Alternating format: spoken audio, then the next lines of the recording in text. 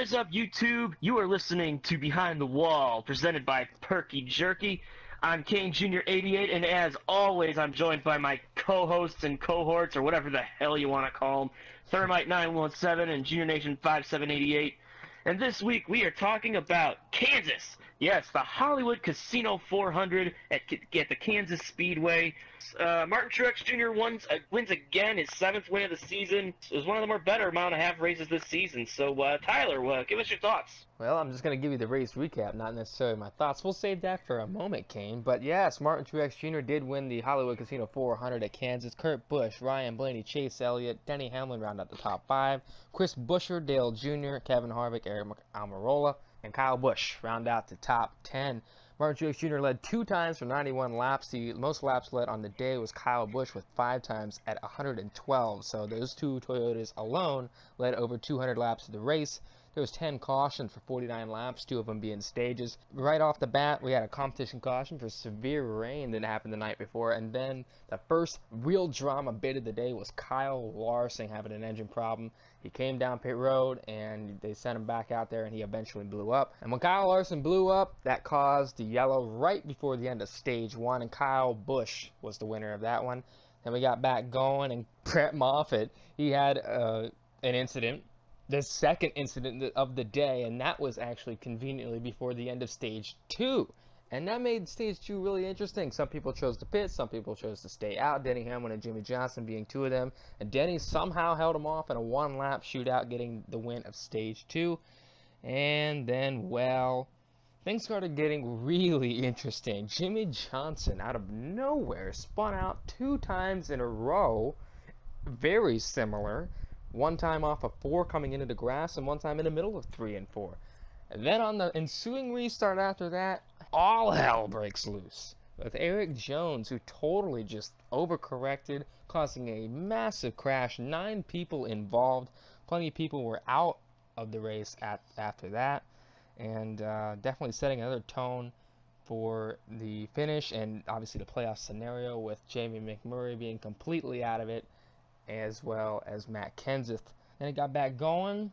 AJ Allmendinger calls the final caution of the race with around 30-ish to go.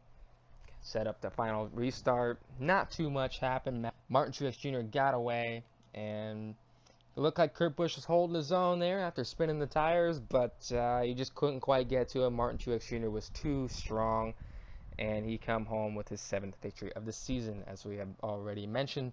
So let's go ahead go ahead and get into race ratings. Nick, you have not talked yet, so I'm going to give you the ability to give us your race rating first. Yes, I too have a voice, and I you think you know it, it, was one of the better mile and a half of the season. I am going to give it an eight. We might have talked about there wasn't much racing for the lead, but the drama was just really ramped up. I mean, it was a cutoff race, and Kansas has seen its share of drama in the past, and this race was no different. I mean, it was it really felt like Talladega at times. It was there was just so much happening, a lot of uh, drama on the points and on the racetrack. So yeah, I mean, there's really not much else to say. It was a very impressive race for Kansas. I hope the the rest of the playoffs can continue the trend of excitement.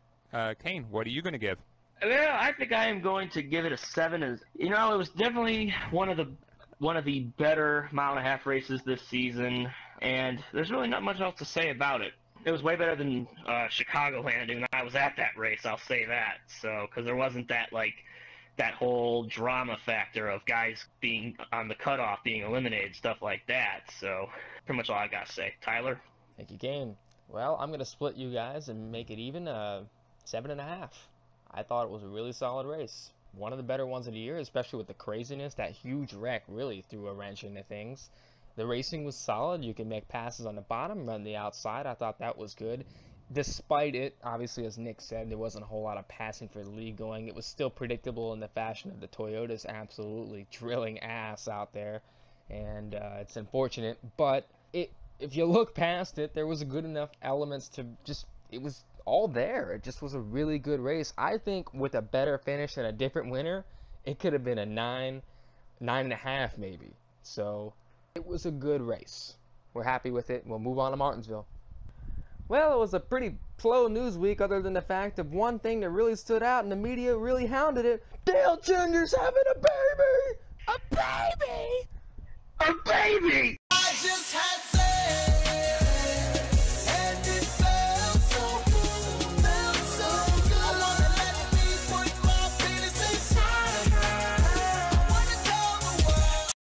if I'd ever get a chance to feel that again, and it feels just as good, if not better than the first, because of how hard we tried year after year after year, running second all them years, wondering why. I gotta get my head together. I gotta think. Uh, Kelley Blue Book, Chevy, and Sprint. He got it in there. He did it. Yeah! Yeah! Holy cow!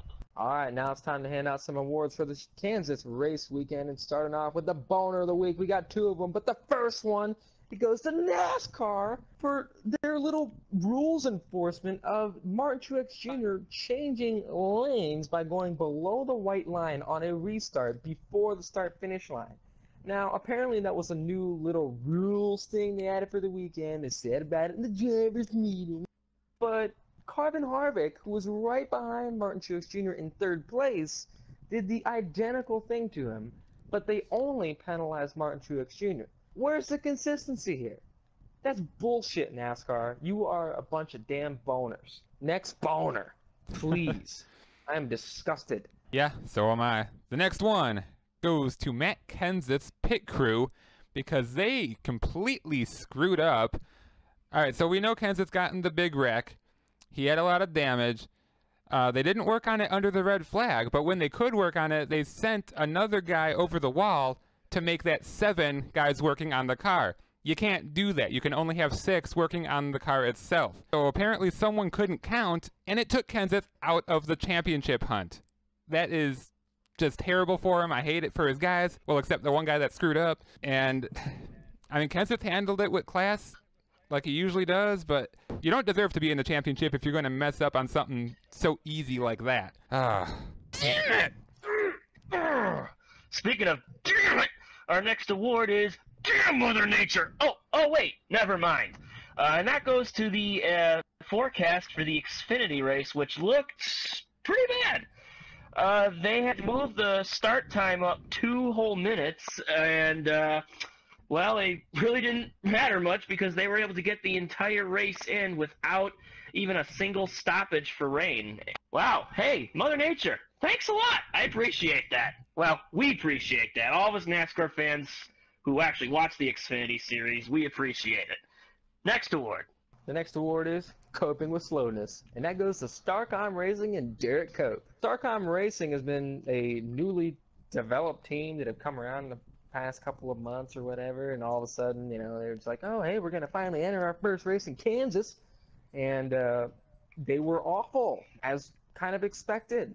They were nearly 20 miles an hour off the pace in practice, a second slower than the guy in front of them. They didn't even run a qualifying lap. Jesus Christ. They were terrible. And they only kept from starting last because Ryan Blaney's time was disallowed. They were lapped on lap 10. They were in the garage three laps later with an engine problem, came back out, ran a handful more laps, and finally, after 35 laps of running on the racetrack, they retired the car with handling issues. Ah, welcome to Cup, guys. You suck.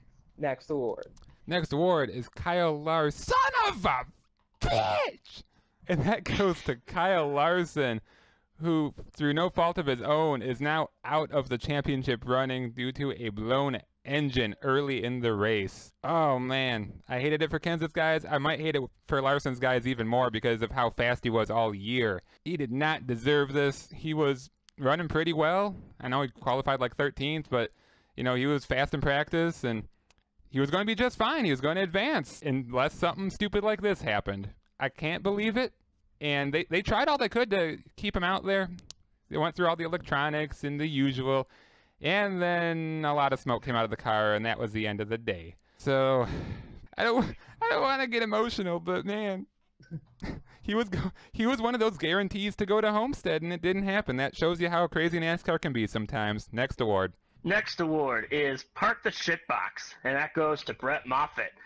Well, he, uh, typical BK Racing fashion, he brought out two cautions, both for the exact same instance. He blew a right front tire and pancaked the right side of his car both times. And what does he do? Well, he keeps going. He didn't. He didn't uh, go to the garage and get the car fixed. No, no, no, no. We got to keep on going 20 miles an hour under under minimum speed. I don't. I'm surprised they were in NASCAR kept them out there, even though they were probably having trouble meeting minimum speed, and he pancaked it again. Ah, and uh, yeah, I, come. Uh, I don't know what to say. BK Racing, you guys got to learn to frickin' park the shit box, damn it. Ah, next award.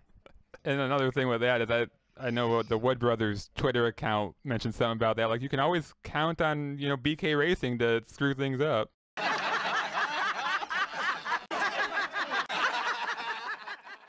next award is Ricky Walhouse, and it should be no surprise who that goes to. It's Ricky Stenhouse Jr., who was having a subpar day like he usually does, and to make things worse, he cut a tire and went into the wall, and that pretty much ended his day.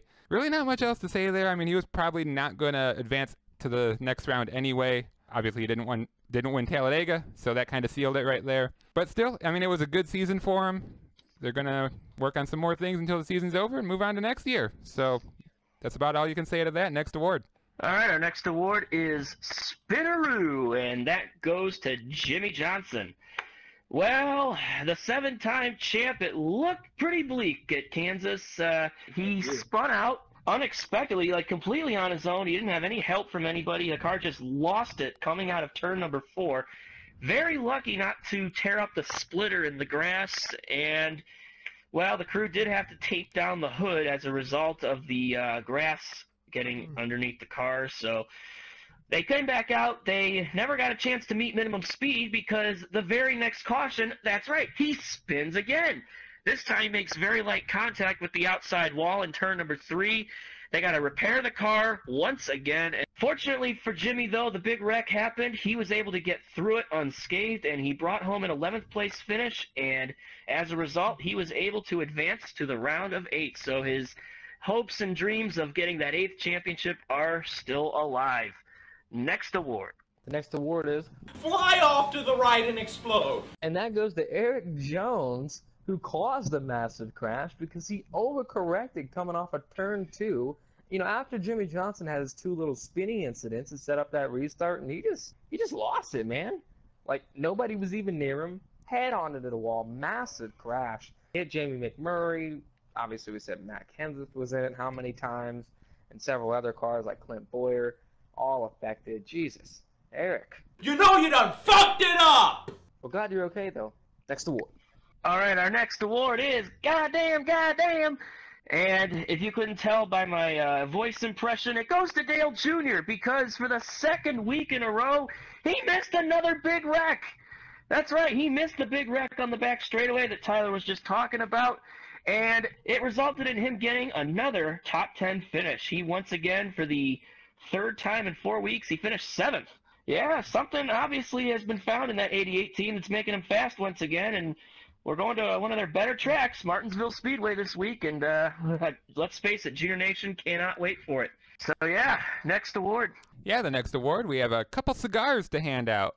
And the first one goes to Christopher Bell for winning his first ever Xfinity race. And in man, it was in dramatic fashion.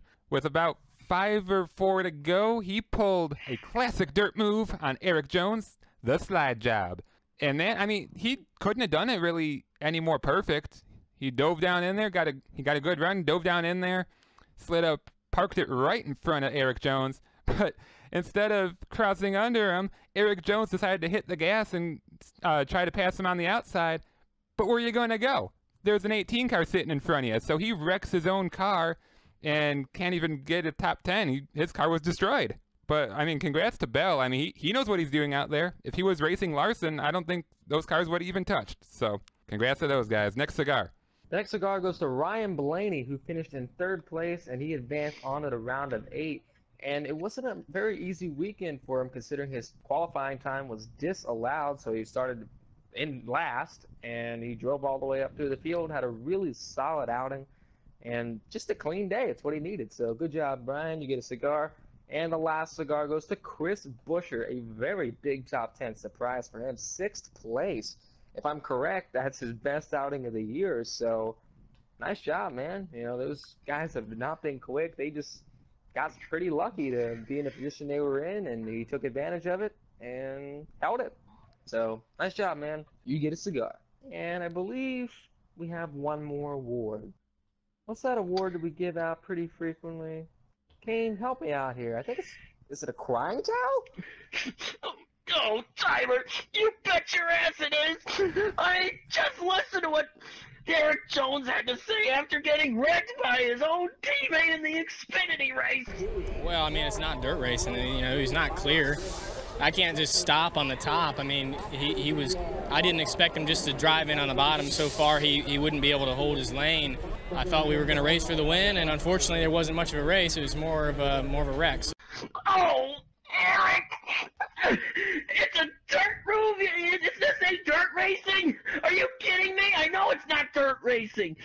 But Christopher Bell is a tried and true dirt racer! And that's one of his signature moves that he does on a dirt track, the slide! So you couldn't let off the gas, you run right into the back of him and it killed your car! no, Erik! You know, if you keep this up, people are gonna start losing respect for you. In fact, it was pretty obvious this weekend. You showed exactly who your mentor is. That's right.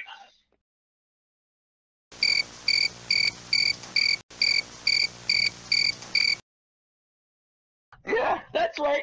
I compared you to Kyle Clark. yep. I mean, you drive just like him, but at the bad, at the same time, you act just like him. oh no, Erik. Come on, man, you, you're better than this. But that's not all, damn it! It's all these whiny ass fans too that had a problem with it. And just like this guy right here. Nick, you had a fun chat with him. Yeah, he's Big a whiny baby. he's a whiny crybaby, and he he thought it was a dirty ass move. And then I showed him who is you know his god of racing, what he said, Regan Smith, and he's like, well, if he did it, it was okay then. What? Pick a side and stick with it. You, you biased. I don't even know what I'm going to say. I'm so pissed at that guy. Man, you don't know what you're talking about. Weirdos, absolute weirdos. All these crybabies going, get your dirt moves on the dirt track. For Christ's sake, he, he dove it down in there. He was clear. He parked the bus, and Erik Jones had two options cross him over or run him into the back of him. And he chose the latter. So it was his own goddamn fault. Christopher Bell did what he needed to do to win that race. If you have a problem with it, go fuck yourself. Seriously. I'm just saying. It's like, come on. You want something exciting? Right there it is in front of you, and you bitch about it. God damn it. You get a crying towel. I'm giving it just all the fans. Seriously, you bad fans. You get crying towels. I bet you're the same people that bitch about Martin Truex Jr. winning all the time, too. Yeah, I get you taking time to the, the Toyota winning all the time. He's a good guy. Quit bitching about it. Jesus. And his team lost a crew member this weekend too. Damn it. You sons of bitches. Ugh. See, here we are making it about something else. You just there's so many bad fans out there. And believe me, we have crying towel stock. Once Perky Jerky starts paying us, we're gonna start sending out the crying towels to some of you wonderful fans. And by wonderful, I mean bitches. Quit your bitching. We're tired of it. You make NASCAR and its fans, the good ones, look bad. We're tired of it. We're moving on now. That's that's kind of cool. I mean, I, I mean, it's not like a ten out of ten, but I'm saying if it offered to sleep with me on the first date, I'd sleep with it. Yeah, me too. Not bad. No, it's definitely one of the better schemes this year. So you'd sex it down? I, I'd say so. I mean, look at that orange. Look at that black Only though. if it bought me dinner first. Yep. Nick, nobody's buying you dinner. You buy them dinner. Arby's. Absolutely. Yeah, you know it. Nice paint scheme. Yeah. Yeah. I mean, it's okay. All right. All right. We should probably stop talking about it now. Let's move on. All right, it's time to recap the fantasy for Kansas. And, well, Jamani once again comes home as the victor. He has come on strong in this chase after, you know, he was so far behind after we let him in this little fantasy thing late. And we're like, eh, he's just there. He's just there in the points. And now all of a sudden, boom, right to the damn lead. And it's going to be pretty damn hard to beat him. but he got the win again this week after picking Kevin Harvick, who got himself 47 points. Kevin finished in eighth place. Nick, you finished in second by picking Martin Truex Jr., who won the race, but hey, you only have 43 points. You know, sucks to suck, can't win. Kane came home in third after picking Kyle Busch. He finished 10th, and which that was a tiebreaker because Kyle Busch also got 43 points, but obviously Nick with the better finishing gets the priority. And I picked Kyle Larson. Kill me. Ouch! Yeah. I can't believe it. I seriously can't. Finished 39th after having an engine failure. First engine failure all year long. Yeah, and in his career, for Christ's sake. You just did not see that coming. If he would have got wrecked, that's one thing. But, man, what a blow. Did not see it coming, and that's pretty much the end of my fantasy hopes. It's going to take an all-out miracle now. But, uh, so that means I go first for Martinsville. So I'm going to go with somebody who's very good at Martinsville, and that's Denny Hamlin. Jackass! He's won there several times. Uh, I believe he's second on the active list, only to Jimmie Johnson. So, yeah. I'll just hope that he just decides to pull something out of his ass. Alright, Kane, you finished third, so that means you're next. Who is your pick for Martinsville? Uh, my pick for Martinsville is, well, I think you said it. He's the active wins leader there, and that is Jimmie Johnson. The price is wrong, bitch. Uh, obviously, he uh, managed to advance into the round of eight, and it was in this race a year ago that he got to the championship race at Homestead. So, yep, Jimmie Johnson. Nick? All right. I am going to go with Kyle Busch. You're gonna die, clown! Again, I don't really want him to win, and I don't know how many wins he has there exactly, but he always seems to be near the front and being some kind of a factor. I mean, he really has nothing to lose. He's probably guaranteed uh, to go to Homestead, so he's going to give it his all. It's an aggressive track. He knows how to do that, so Kyle Busch. Well, Damani, who are you taking for this week? You eat pieces of shit for breakfast?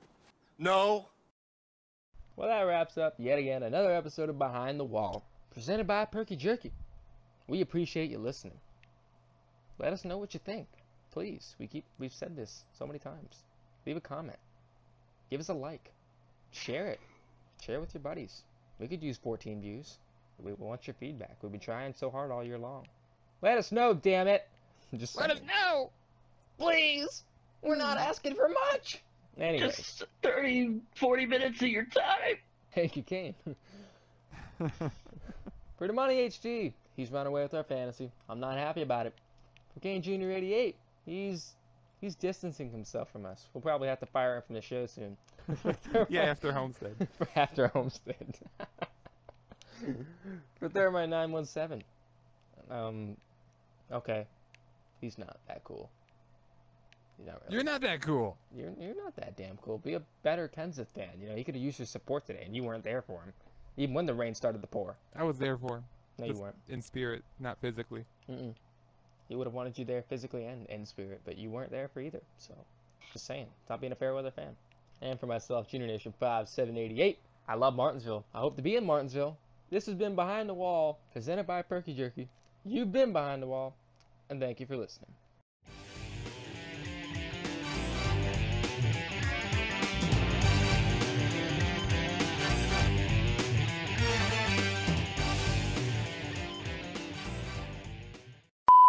Uh, I was definitely right up there with, um, wasn't it? I mean,